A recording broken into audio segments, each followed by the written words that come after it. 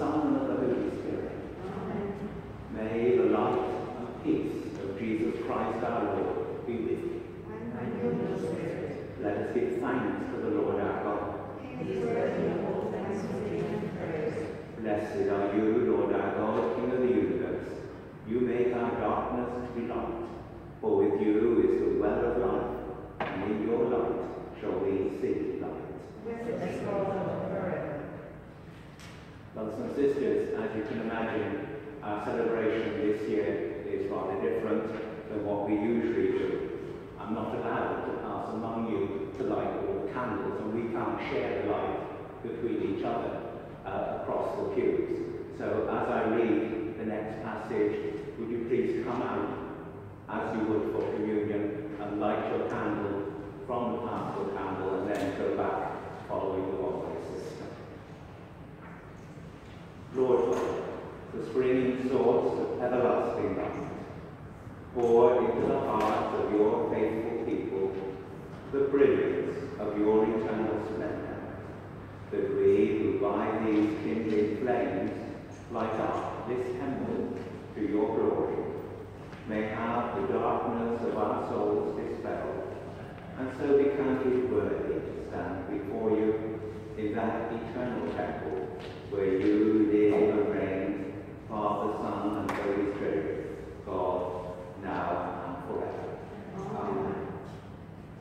We join together in the Lord's At last, O powerful Master, you give leave to your servant to go in peace, according to your promise. For my eyes have seen your salvation, which you have prepared for all nations, the light enlighten the Gentiles, and give glory to Israel your people. Glory be to the Father, and to the Son, and to the Holy Spirit, as it was in the beginning, is now, and ever shall be, world without end. Amen. Dear brothers and sisters, 40 days have passed since we celebrated the joyful feast of the Nativity of the Lord. Today is the blessed Jesus was presented in the temple by Mary and Joseph. Outwardly, he was fulfilling the law, but in reality, he was coming to meet his believing people. Prompted by the Holy Spirit, Simeon and Anna came to the temple. Enlightened by the same Spirit, they recognized the Lord and confessed him with exultation. So then all our souls gathered together by the Holy Spirit, rejoice in the house of God, where we shall encounter Christ. There we shall find him and recognize him in the breaking of the bread until he comes again, revealed in glory.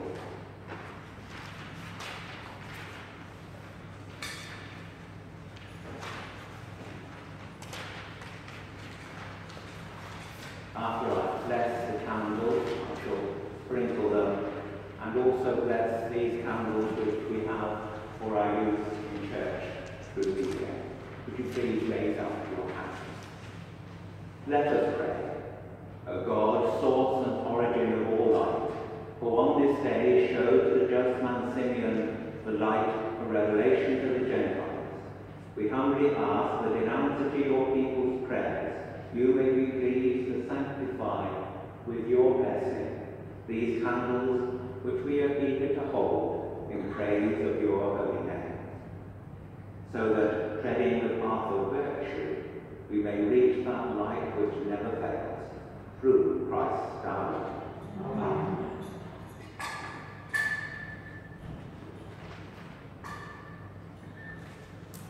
Amen.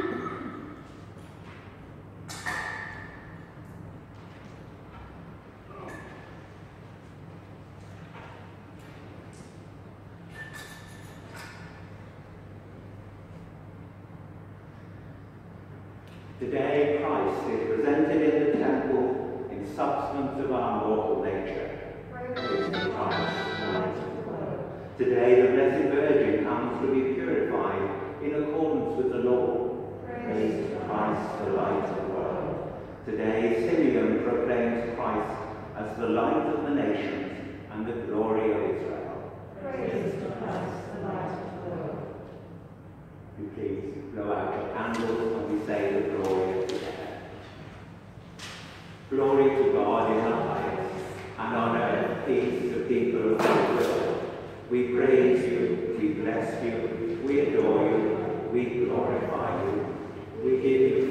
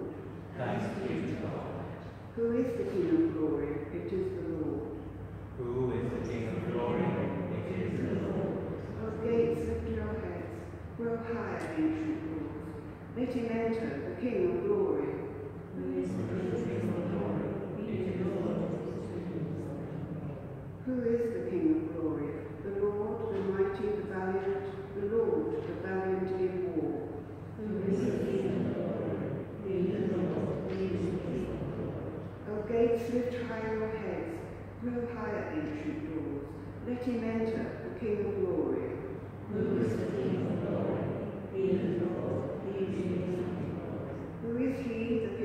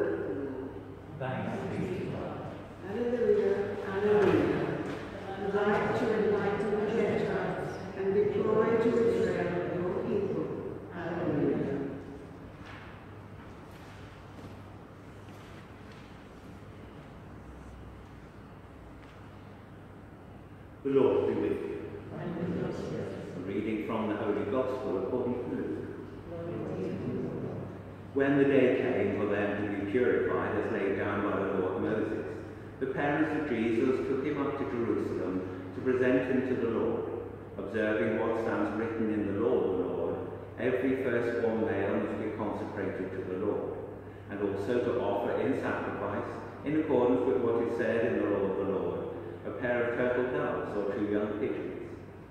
Now in Jerusalem there was a man named Simeon. He was an upright and devout man. He looked forward to Israel's comforting, and the Holy Spirit rested on him it had been revealed to him by the Holy Spirit that he would not see death until he had set eyes on the Christ of the Lord. Prompted by the Spirit, he came to the temple, and when the parents brought in the child Jesus to do for him what the law required, he took him into his arms and blessed God. And he said, Now, Master, you can let your servant go in peace, just as you promised, because my eyes have seen the salvation which you have prepared for all nations a light to enlighten the pagans and the glory of your people Israel. As the child's father and mother stood there wondering at the things that were being said about him, Simeon blessed them and said to Mary his mother, You see this child, he is destined for the fall and for the rising of many in Israel, destined to be a sign that is rejected, and a sword will pierce your own soul too, so that the secret thoughts of many may be laid bare. There was a prophetess also, Anna, the daughter of Phanuel of the tribe of Asher. She was well on in years. The days of her girlhood over, she had been married for seven years before becoming a widow. She was now 84 years old and never left the temple, serving God night and day with fasting and prayer. She came by just at that moment and began to praise God. And she spoke of the child to all who looked forward to the deliverance of Jerusalem. When they had done everything the law of the Lord required, they went back to Galilee, to their own town of Nazareth.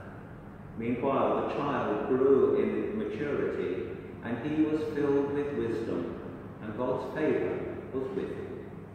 The Gospel of the Lord. Thanks be to God, Jesus Christ. Please sit down. You have a homily for today. Please take it home and look at it. Not, well, partially related to the homily. I read this morning that the Holy Father has instituted a new day of celebration for the Church. Um, the last Sunday in July is to become a special day to remember grandparents and the elderly. And I think that is emphasized by today's gospel, where two very elderly people praise God, have received uh, visions from God, pass on the message of God, and study God's word. Simeon and Anna are to be an example to us all. The day nearest the celebration in July is the commemoration of our Lord's grandparents, Our Lady's parents, St. Joachim and St. Anne. And I think we're all getting on, and so it's important that we realise that just because we are of more mature years, doesn't mean that the church has wiped its hands on us or finished with us, or that we have nothing to offer. Regardless of our age, we can always serve God in the capacity that He's called us.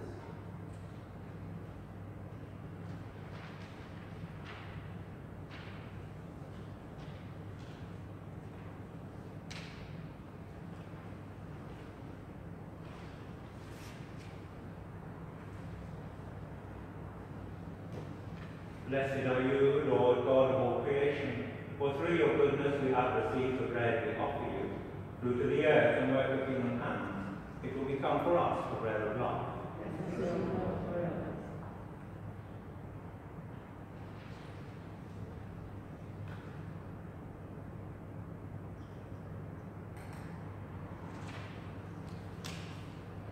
Blessed are you, Lord God of all creation, for through your goodness we have received the wine we.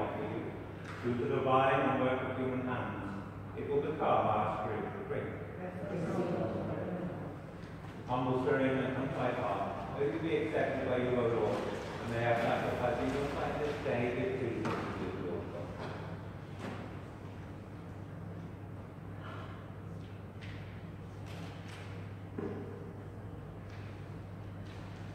Pray, brothers and sisters, that my sacrifice and yours may be accepted May Thank you.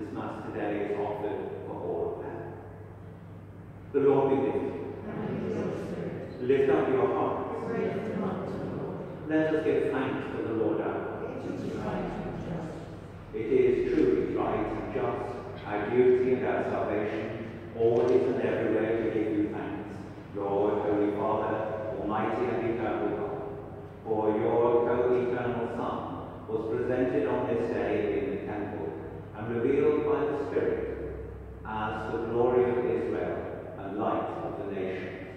And so we too go forth, rejoicing to encounter your salvation, and with the angels and saints praise you, as without end we acclaim, Holy, holy, holy Lord God of hosts, heaven and earth are full of your glory. Hosanna in the highest. Blessed is he who comes in the name of the Lord. Hosanna in the highest. You are indeed, O dear Lord, all you have created, rightly given praise. For through your Son, our Lord Jesus Christ, by the power and working of the Holy Spirit, you give life to all things and make them holy. And you never cease to gather the people to yourself, so that from the rising of the sun to its setting, a pure sacrifice may be offered to your name. Therefore, O Lord, we humbly implore you, by the same Spirit, graciously make holy these gifts we have brought to you for consecration, that they may become the body and blood of your Son, our Lord Jesus Christ, at whose command we celebrate these mysteries. For on the night he was betrayed, he himself took bread, and giving you thanks, he said the blessing, broke the bread, and gave it to his disciples, saying, Take this, all of you, and eat of it, for this is my body, which will be given up for you.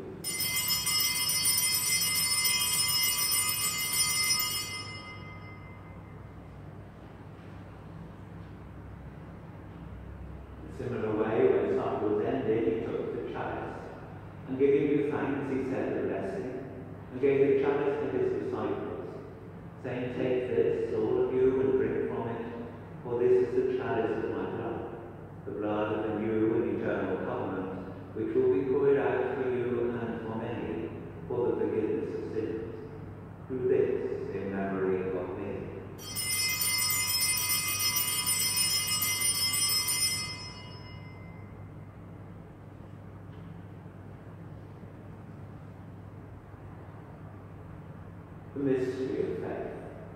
we eat this bread and drink this cup, we proclaim your death, O Lord, until you come again. Therefore, Lord, as we celebrate the memorial of the saving passion of your Son, his wondrous resurrection and ascension into heaven, and as we look forward to his second coming, we offer you in thanksgiving this holy and living sacrifice. Look, we pray, upon the oblation of your church, and recognizing the sacrificial victim, by death you will to reconcile us to yourself, that we who are nourished by the body and blood of your Son, and filled with his Holy Spirit, may become one body, one spirit in Christ. May he make of us an eternal offering to you, so that we may obtain an inheritance with your elect, especially the most blessed Virgin Mary, Mother of God, with blessed Joseph, her spouse, with your blessed apostles and glorious martyrs, with St. Michael, and with all the saints on whose constant intercession in your presence we rely for unfailing help. May this sacrifice of our reconciliation, we pray, O Lord, advance the peace and salvation of all the world. Be pleased to confirm in faith and charity your pilgrim church on earth, with your servant Francis our Pope and Mark our Bishop,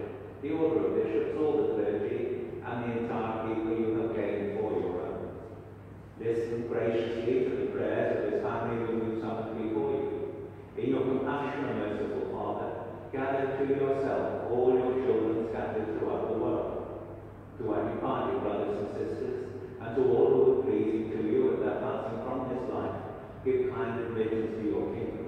There we hope to enjoy forever the fullness of your glory, through Christ our Lord, through whom you bestow on the world all that is good.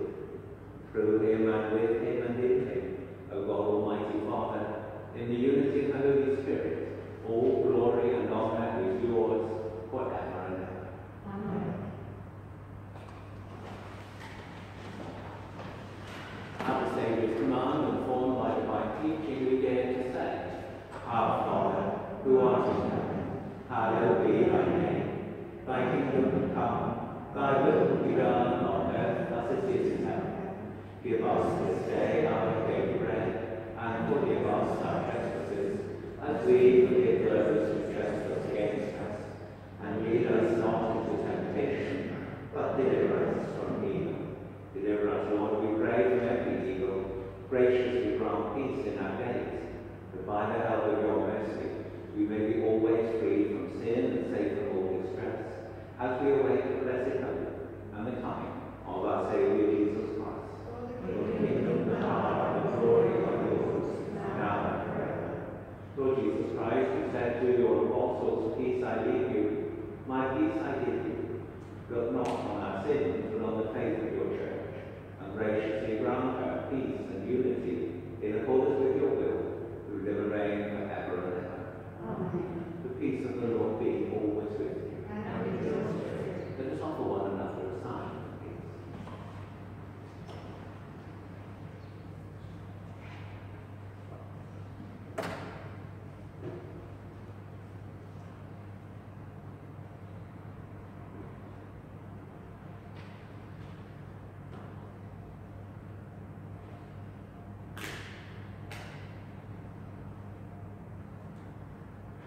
Lamb of God, you take away the sins of the world. Have mercy on us. Lamb of God, you take away the sins of the world. Have mercy on us. Lamb of God, you take away the sins of the world. Have mercy on us. Behold the Lamb of God. Behold him